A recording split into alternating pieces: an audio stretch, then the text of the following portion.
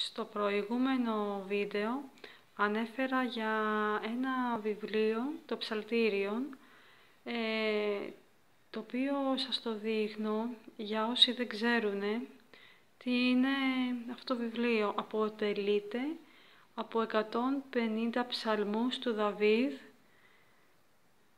ο οποίος ο, ο Δαβίδ ήταν ένας άνθρωπος σαν και εμάς, αμαρτωλός, και αναφέρεται σε, στις προσευχές αυτές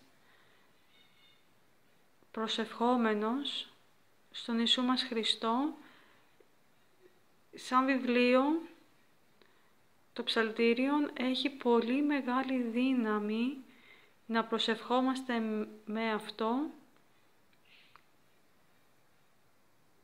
να μην το ξεχνάτε και όσοι δεν το έχετε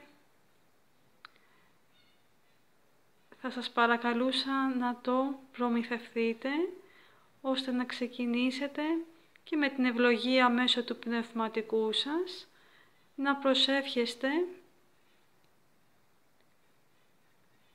με αυτό το βιβλίο.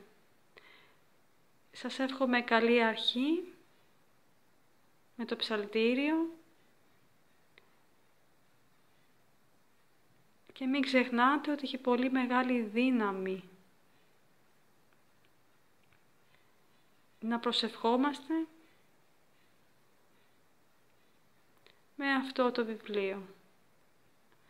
Αμήν. Καλή δύναμη στο πνευματικό σας αγώνα.